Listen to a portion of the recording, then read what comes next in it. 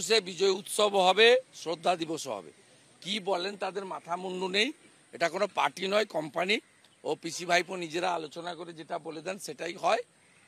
গোটা পশ্চিমবঙ্গে পশ্চিমবঙ্গে আমার তো মনে হয় আগামী এক মাস কালা দিবস পালন করা উচিত।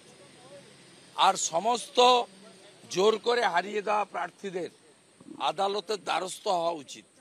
তালিকাটাও তো তৃণমূল করে দিয়েছে। উনি পঁয়তাল্লিশ প্লাস চার উনপঞ্চাশ তো স্বীকারই করেননি। উনিশ জন স্বীকার করেছেন এবং আমার মনে হয়েছে এই উনিশ জনের তালিকা তৃণমূল করে দিবে, কারণ তৃণমূলেরও কিছু লোকজন মারপিট করতে এসে মরেছে। এই তালিকাতেও দলবাজি হবে, সেই কারণে তিনি সংখ্যাটা কম বলেছেন।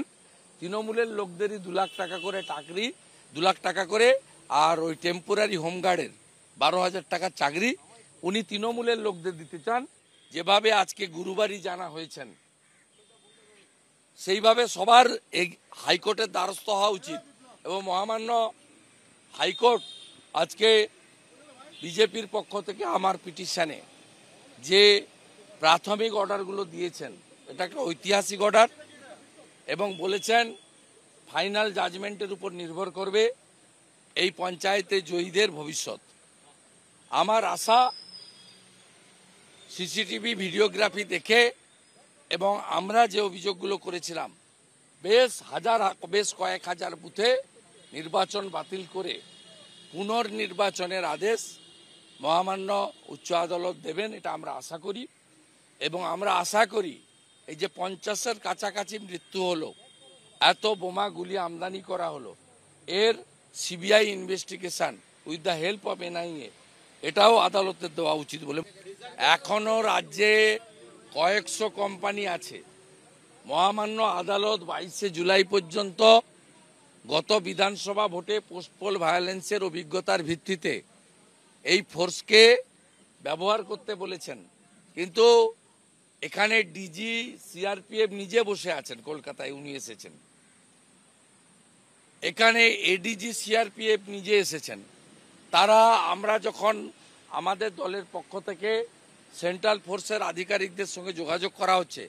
তারা আমাদের বলছেন যে রাজ্য সরকার বা রাজ্য পুলিশ, তারা আমাদের কোথায় কোথায় ভালনারেবল পয়েন্ট কোথায় এরিয়া ডোমিনেশন করতে হবে, কোথায় রুট মার্চ করতে হবে, কোথায় যে আনঅথরাইজ মব তাকে সরাতে হবে, এরকম কোনো প্ল্যান বা জায়গা দেন দেননি।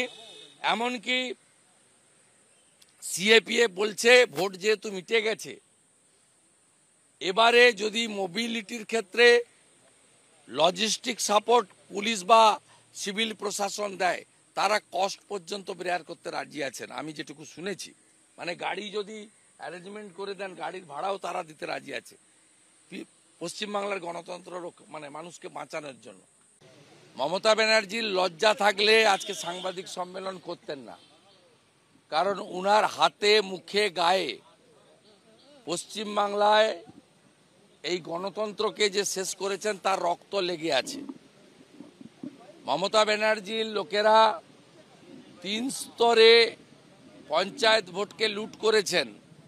মনোনয়নপত্র জমা দেওয়ার সময় এক স্তরে, ভোটের দিন আরেক স্তরে, গণনার দিন আরেক স্তরে।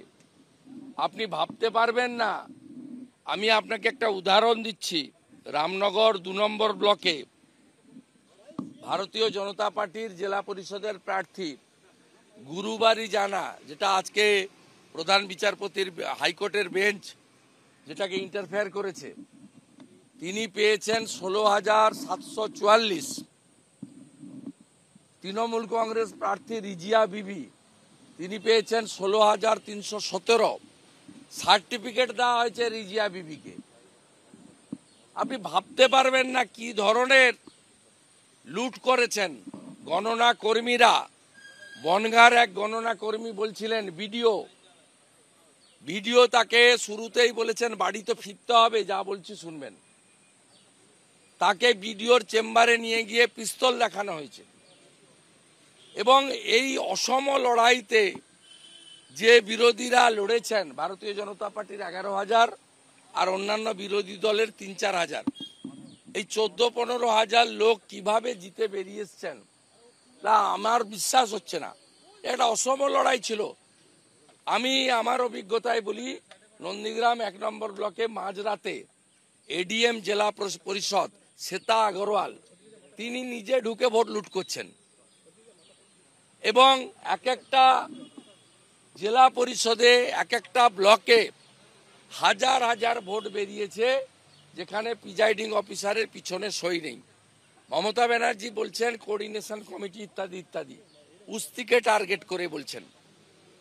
কিন্তু এটা সম্পূর্ণভাবে আইপ্যাকের লোকেরা পোলিং পার্টি সাজিয়েছে, প্রিজাইডিং অফিসারদেরকে তারা বলে দিয়েছে, কোন কোন বুথে ব্যালটের পিছনে সই করা যাবে না।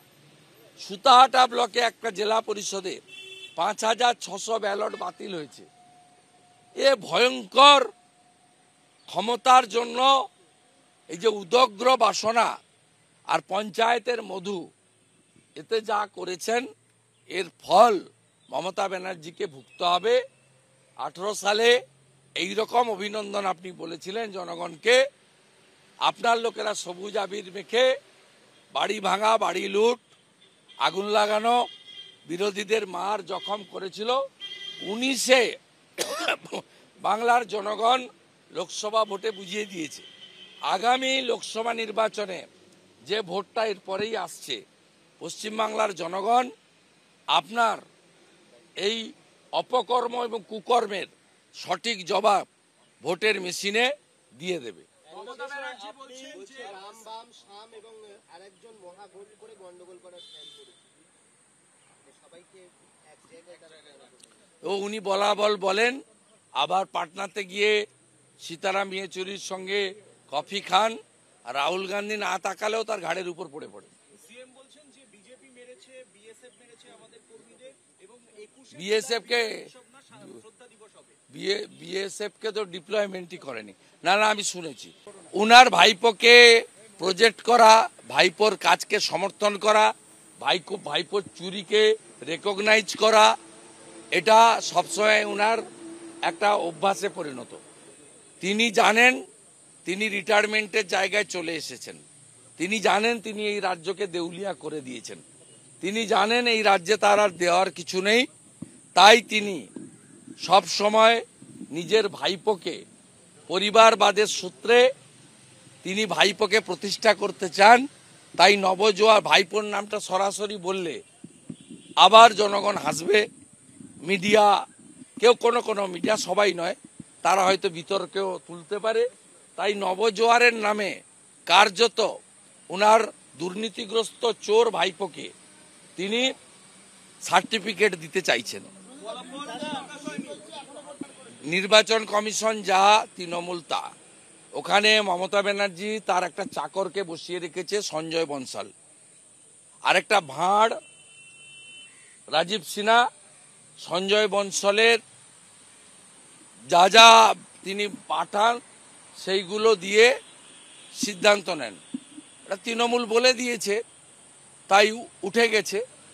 এইভাবে প্রত্যেকটা সিদ্ধান্তর উপরেই শাসক দল এবং শাসক দলের মালিকদের ইশারায় এই নির্বাচন কমিশন কাজ করেছে এবং এত বড় কলঙ্কিত অধ্যায়, যেমন পশ্চিমবাংলার মানুষ মীরা পাণ্ডেকে, গোপালকৃষ্ণ গান্ধীকে, জগদীপ ধনকরকে মনে রেখেছে, মনে রাখবে। হিউম্যান রাইটসের চেয়ারম্যান অশোক গাঙ্গুলির কথা মানুষ মনে রেখেছে। ঠিক একইভাবে এই রাজীব সিনহা একটা ঘৃণিত জীব হিসেবে পশ্চিমবাংলার মানুষের কাছে মানে চিরস্থায়ী তার নাম লিখিয়ে দিলেন। এটা ফলই নয়। কাল থেকে বারবার বলেছি, এটা ফল নয়। আমি বিজেপির কথা যদি বলতে হয়, বলব যে আমরা ষাট হাজার আসনে প্রার্থী দেওয়ার সাংগঠনিক ক্ষমতা রেখেছিলাম। মাইনরিটিদের মধ্যে এখনও ভুল বুঝিয়ে রেখেছেন। মাইনরিটি দশ বারো হাজার বুথ ছাড়া বিজেপির ক্ষমতা ছিল ষাট হাজার বুথে প্রার্থী দেওয়ার। আমরা পঁচিশটা ব্লকে প্রার্থী দিতে পারিনি, ব্লক ঘিরে রেখেছিল। তারপরেও চুয়ান্ন হাজার প্রার্থী দিয়েছিলাম। সাদা থান, বোম মেরে বন্দুক দেখিয়ে, পুলিশ পাঠিয়ে, অ্যারেস্ট করে সাত হাজার নমিনেশন তুলে দেয়। সাতচল্লিশ হাজার আসনে আমরা লড়ে ছিলাম। সাতচল্লিশ হাজার আসনে লড়ার পরেও যদি ভোটের দিন এবং গণনার দিন এই কারচুপি না হতো, কালকে আমাদের গোটা রাজ্যে ত্রিস্তরে তিন থেকে চার হাজার প্রার্থী, জয়ী প্রার্থীকে হারানো হয়েছে। যদি এই ব্যালট পেপারগুলোকে আমরা প্রথম দিনের তালিকায় ইনিশিয়ালি ছ হাজার বুথ দিয়েছিলাম, কালকের তালিকাও আমরা করছি, যেখানে জয়ী লোকদেরকে, এই যে অসীম সরকার আছে না, রানাঘাট, তার দুজন জেলা পরিষদ প্রার্থী জেতার পরেও সার্টিফিকেট দেয়নি। আমি একটু আগে একটা উদাহরণ দিয়েছি, যেটা ইতিমধ্যে কোর্ট হস্তক্ষেপ করেছে। এরকম তিন থেকে চার হাজার প্রার্থীকে, জয়ী প্রার্থীকে পরাজিত দেখানো হয়েছে। তাই পশ্চিমবাংলার এবারের এই নির্বাচন কোনো নির্বাচন নয়, এই ফল মানুষ গ্রহণ করে না, আমরাও গ্রহণ করি না। আমি কালও বলেছি, আজও বলছি যে আমরা ষাট হাজার প্রার্থী দেওয়ার ক্ষমতা রেখেছিলাম, যে সাতচল্লিশ হাজারে লড়েছিলাম, এগারো হাজার নয়, তিরিশ হাজার আমরা জেতার ক্ষমতা রাখি। মানুষ ছিল আমাদের সঙ্গে। এবং আমরা শুধু নয়, বিরোধী, অন্যান্য বিরোধী দল, তারাও বারো, চোদ্দ হাজার আসন জেতার জায়গায় ছিলেন। মমতা ব্যানার্জি জিততে দেননি। তৃণমূল কংগ্রেস কোনোভাবে কুড়ি হাজারের বেশি, মূলত সংখ্যালঘু অধ্যুষিত এলাকা ছাড়া তৃণমূল কংগ্রেস কোনো আসনে জেতার জায়গায় তারা ছিল না। তাই এই ফল মানি না। অবৈধ ফল, অবৈধ নির্বাচন, লুটের নির্বাচন, সব হিসাব হবে লোকসভা নির্বাচনে। আর দেখা হবে লিগ্যাল ব্যাটেল কোর্টের লড়াইতে। আর লড়াই হবে রাস্তায় আমাদের আন্দোলনের মধ্যে। তৃণমূলকে বলে, বলবেন, উনিশে উনসত্তর হাজার লিড থাকা আসনে মমতা ব্যানার্জি দু হাজার ভোটে হারেন কেন? ওই হিসাবটা আমাকে মিলিয়ে দিতে বলবেন, তারপরে আপনার উত্তর দেব। উনিশ সালে নন্দীগ্রামে তৃণমূলের লোকসভায় লিড ছিল সত্তর হাজার, উনসত্তর হাজার শান্তি সেই সত্তর হাজার লিড থাকা আসনে তৃণমূলের সর্বোচ্চ মালিক। এরপরে কোনো তৃণমূলের অস্ত্র নেই। সেই অস্ত্র প্রয়োগ করে এক হাজার নশো ছাপ্পান্ন ভোটে হেরেছেন। এই অঙ্কটা মিলিয়ে দিতে বলবেন এই চোরটাকে, ওই ডাকাতটাকে। ওগুলো অসভ্য, অশিক্ষিত, গামছা পরে পুরীতে ইয়ে ধুত, একটা নোংরা নর্দমার কিট, সাড়ে তিন বছরের জেল খাটা মাল, তার প্রশ্ন দয়া করে করবেন না। তার কোনো প্রশ্নের আমি উত্তর দেব না। তাকে সাইজ নন্দীগ্রামের জনগণ করেছে। ভিডিওগুলোকে জেলে দিতে হবে। এডিএমগুলো, এক একটা অ্যাডিশনাল এসপি যে পার্থদার ওখানে, একটা অ্যাডিশনাল এসপি কি করেছে শুনুন। ডিএসপিরা কি করেছে শুনুন। খেজুরি দু নম্বর ব্লকে এসডিপিও কাঁথি বিজেপির গণনা কর্মীদের ঢুকতে দেয়নি, গণনা এজেন্টদের। যা করেছে হিসাব হবে। এরা ভাবছে যে কোর্ট হচ্ছে, এজেন্সি আসছে, কিছু হচ্ছে না। শুরুটা এবারে হবে। নজন আইপিএস কয়লা মামলায় ঘুরে এসেছেন।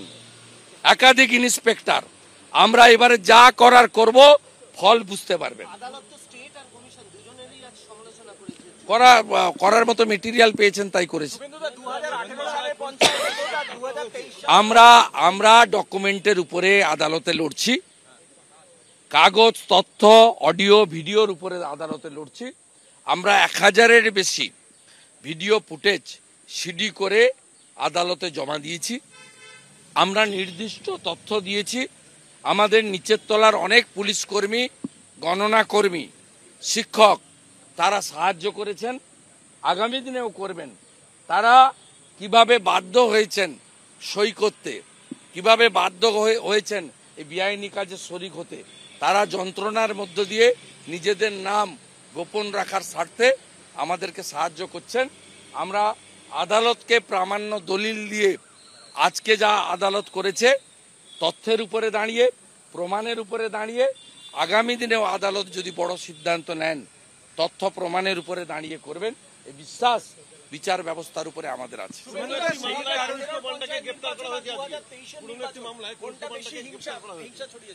আমি ওগুলো বলব না।